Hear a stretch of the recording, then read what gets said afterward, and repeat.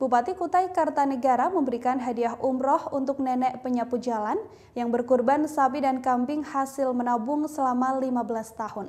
Sosok nenek tersebut adalah nenek Sumiati yang saat ini berusia 71 tahun. Bupati menilai tindakan yang dilakukan sang nenek bisa memberikan contoh yang baik di tengah keterbatasan.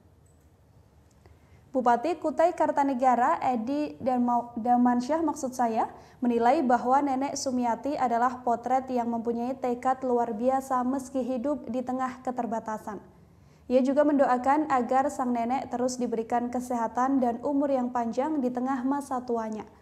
Diketahui pada perayaan Hari Raya Idul Adha, nenek Sumiati menyumbang satu ekor sapi dan kambing untuk berkurban. Dua hewan tersebut ia beli dengan harga sapi 18 juta rupiah dan kambing 4,7 juta.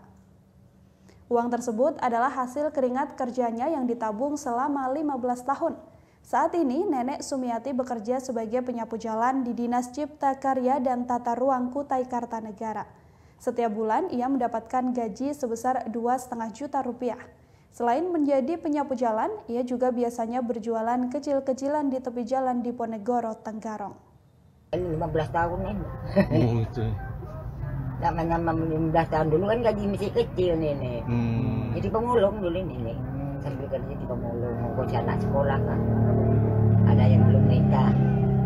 Ini anak sih alhamdulillah dah nikah tiga. Hmm. Ya bisa Habis jalan anu rezeki itu nanti sambil jualan. Tak jadi pemulung lagi sambil jualan sambil nyapu. Jadi potong nanti dengan orang situ. Oh nenek bagi? Ya orang yang bagi situ terserah orang dah. Saya dah ikhlas ya. Saya dah dah mau campur dah. Pokoknya diserahkan saya korban ya dah. Nenek kita ini menjadi contoh yang sangat baik bagi kita semua. Di dalam kekurangannya beliau beliau bisa memberikan kurban sapi dan kambing ini menjadi toladan bagi kita semua yang saat ini hidup di masa pandemi Covid. Contoh dari beliau, pengorbanan beliau bisa kita contoh. Tadi ada permohonan beliau untuk bisa dapat ziarah ke makam Guru Ijai dan kami dari Polres Kutai Kartanegara ke depannya akan memfasilitasi apa keinginan beliau untuk berziarah ke makam Guru Ijai.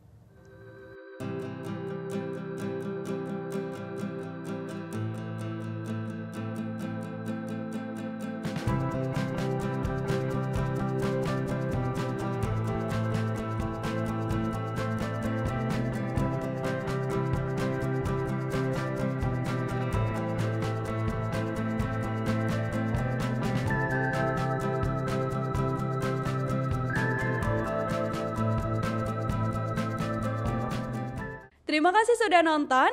Jangan lupa like, subscribe, dan share ya.